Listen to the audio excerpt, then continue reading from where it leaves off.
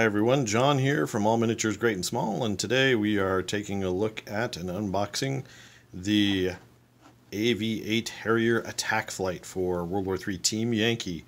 So this is, um, it's not a new box, uh, it's the plastic version of the Harrier, uh, but it, it, came out with the, um, not the most recent American source book, I think it was Stripes or whatever that was called. Um, so it, it's a couple years old, but since I'm getting back into Team Yankee and fleshing out my armies, I thought I would, um, you know, give my Marines some air support. Now, before you put in the comments, I am aware of the rather lackluster stats to the Harrier, and we'll look at those when we get to the card here. But um, I'm doing it more for uh, the um, iconic uh, sake, if you will.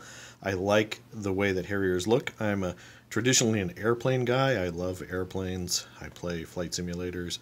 Um, and uh, so I, I, like having the airplanes, even though I going in, I totally acknowledge they're not uh, they're not the best in the game right now.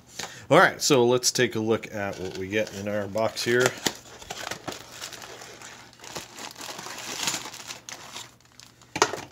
All right, we have our card with uh, decals, very nice. Okay, good. And then uh, one unit card, which we'll take a closer look at later.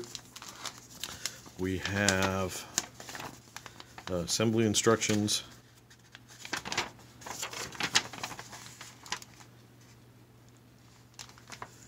Looks pretty straightforward. Okay. And then we have two sealed packages. I'm assuming one plane in each. The traditional Battlefront flight stands. And some resin. I'm sure these are uh, bombs of some kind, cluster bombs probably. Alright, let's take a look at uh, one of these packages here.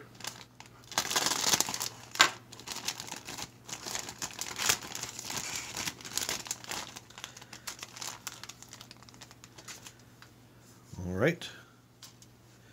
We have the canopy as its own piece. Some decent looking detail there. And then we have two uh, sprues of airplane. Now this is interesting. This looks like a plastic model kit like you'd get at a hobby shop.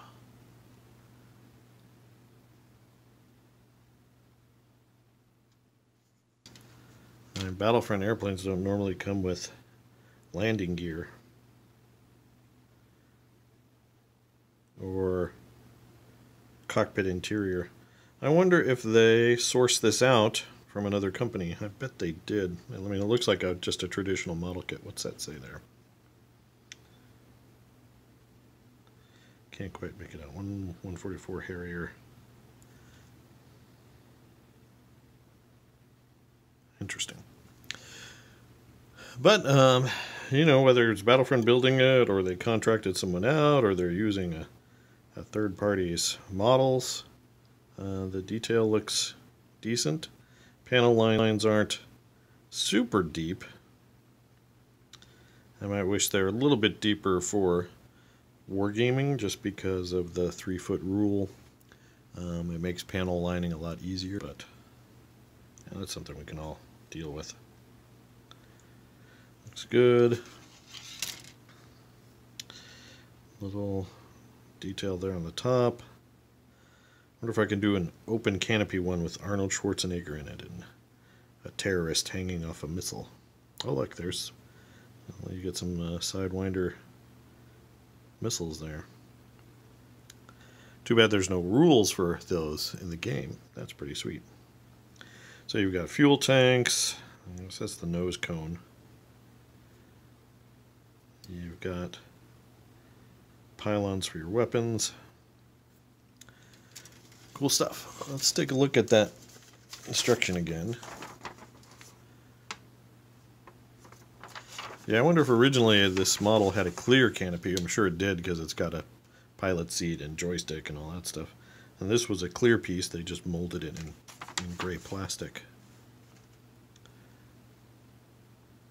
And then you glue your resin cluster bombs on there super glue. Interesting. Looks good. Okay, so uh, there's that, and then uh, through the miracle of editing,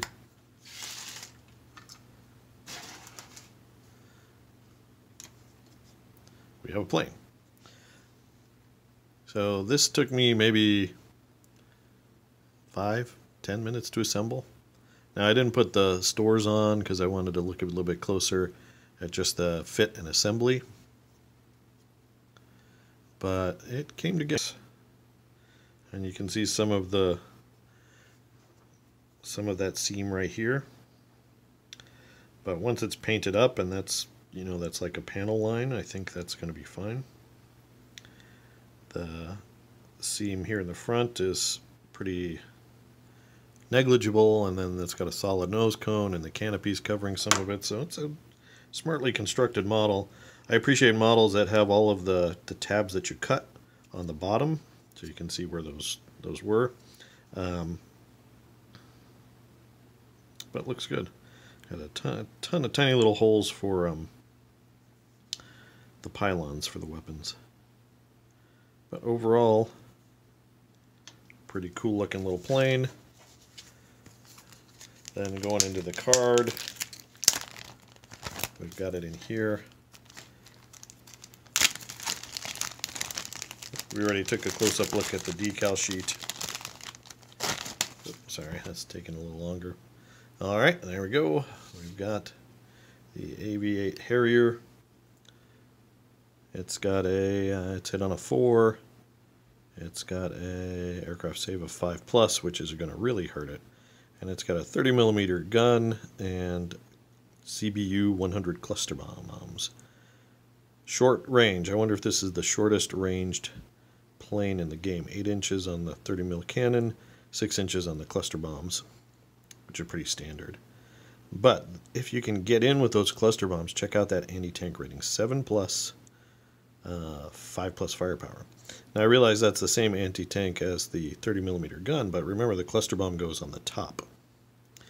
So if it's a um, you're bombing something with a top armor one, um, best they can do is equal your anti-tank rating. Five plus firepower still isn't the greatest, but that's still pretty good. You're still going to knock out a bunch of stuff. Okay, so then we've got uh, the cost. Four of these is only six points, uh, which is um, the same as one Apache. So take that as you may. They might shoot down and die to a stiff breeze, but um, they're cheap, they're inexpensive. Um, and they arrive on a 3 plus, which is nice. Jump jets mean they arrive on a 3 plus. So, very cool. All right, there you go, guys. That's just a quick look at the AV-8 Harrier attack flight for World War III Team Yankee. I'm looking forward to assembling all of these and getting in a pure uh, Marine game. Uh, maybe I need to dig out my uh, Cobra helicopters because the Marines don't have Apaches at this point, but uh, we'll see how that goes. All right, guys, there you go. Uh, thanks for watching. Please, if you like this, give us a like and subscribe. That is always very helpful for us here at the channel. Uh, you can also check us out on Facebook at All Miniatures Great and Small. And if you like our Flames of War content, please check out our Patreon. There will be a link down in the video description below. As always, thanks for watching, and keep on wargaming.